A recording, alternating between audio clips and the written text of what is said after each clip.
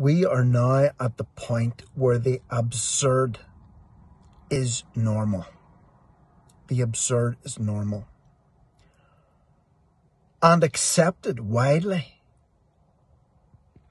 The Taliban have a Twitter account. Donald Trump does not. Nobel Prize winners are censored by people with no medical or scientific qualifications.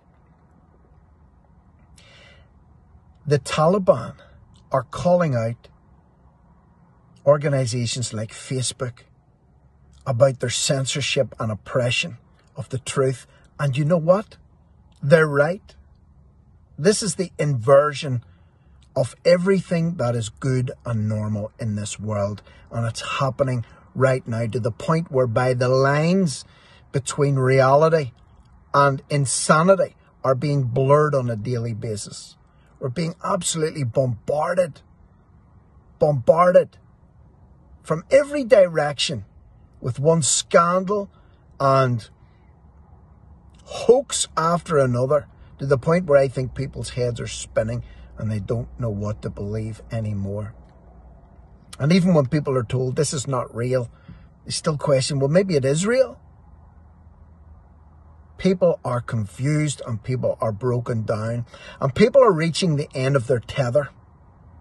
And I'm afraid to say that by the end of this year, if everything plays out the way I feel it will, you will have angry, hungry, disgruntled, and psychotic people like us who just simply won't take anymore. They'll crack. There'll be a mass